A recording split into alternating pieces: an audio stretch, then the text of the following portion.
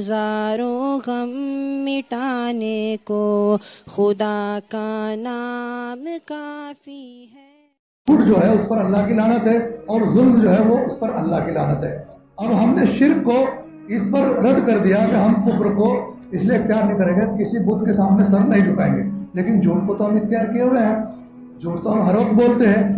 اس لیے ہمارا جھوٹ پختہ کب ہوتا ہے جب ہم نماز میں ایا بنا بدو و ایا نستعین کہتے ہیں۔ تو جھوٹ پر ہمارے مہر لگ جاتے ہیں۔ کیونکہ ہم نے کیا کہا نماز میں آ کر کہ اے اللہ، ہم تیری ہی تو عبادت کریں گے اور تجھی سے مدد مانگتے ہیں۔ اور عبادت کیا ہے؟ جس سے لوگ چڑھتے ہیں کہ صاحب عابد الگ ہوتا ہے، دائی الگ ہوتا ہے۔ اب یہ ایک ڈیفینیشن نکالی گئی۔ اب آپ سمجھے کہ عابد کیا ہوتا ہے۔ عابد اس کو کہا جاتا ہے جو اللہ کے حکم کو اس کے وقت میں پورا کر دے۔ اسے عابد کہا جاتا ہے۔ اور دائی کس کو کہا جاتا ہے؟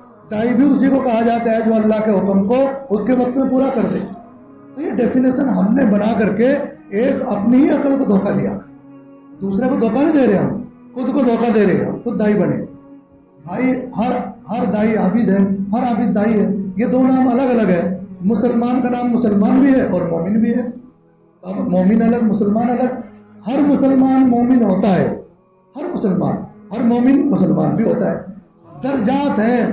ایمان میں۔ اور وہ درجات یہ ہے کہ جو آدمی زیادہ تقوی اختیار کرے گا، وہ بڑا مومن کہلائے گا۔ جو آدمی کم نیکی کرے گا، وہ کم درجے کا مومن ہوگا۔ کیوں؟ اگر یہ مومن نہیں رہا، تو جنت میں کیسے جائے گا؟ ہر مسلمان مومن ہی تو ہے۔ تو اب اس کی ڈیفینیشن نکالنا یہ غلط ہے۔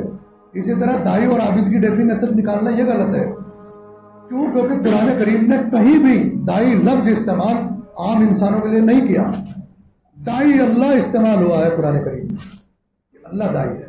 اور مسلمانوں کے لیے، عام انسانوں کے لیے یہ استعمال ہوا ہے، وما خلق الجنا والانسا الا ليعبدون۔ تو یہ دھوکہ ہم اپنی عقل سے کھا رہے ہیں۔ اور کیوں؟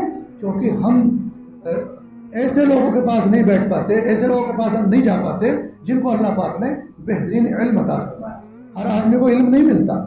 اس لیے میں نے پچھلے جمعہ میں بتایا بھی تھا کہ قرآن اور حدیث جس مولوی کو سرٹیفکیٹ دے گی، وہ مولوی آخرت میں اللہ کے یہاں علماء کی فہرست میں ہوگا۔ ورنہ ہر آدمی مولوی نہیں ہوگا۔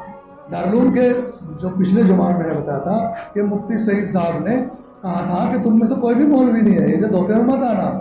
مولوی بننے کا راستہ ہموار ہوا ہے۔ یعنی اب تم عربی سمجھنے لگے ہو، اصول سمجھنے لگے ہو، ان اصول کو یاد کرو، عربی پر محنت کرو ادب کو زیادہ پختہ کرو اور بارہا قرآن اور حدیث میں غور و فکر کرو اور تقوی کے ساتھ عمل کرو تو علم آ جائے گا، کیونکہ علم بغیر تقوی کے نہیں آتا۔ تقوی جتنا زندگی میں ہوگا، اتنا علم آئے گا۔ کیونکہ فضائل اعمال میں ایک عام بات بتا رہا ہوں، اس میں لکھا ہے کہ علم عمل کی آواز دیتا ہے ورنہ جائے ہو جاتا ہے۔ تو اگر علم کے تقاضے پر آپ نے عالم عمل کیا، تو آپ کے پاس وہ باقی رہے گا، نہیں تو ختم ہو جائے گا۔ اسی لیے یاد نہیں رہتا۔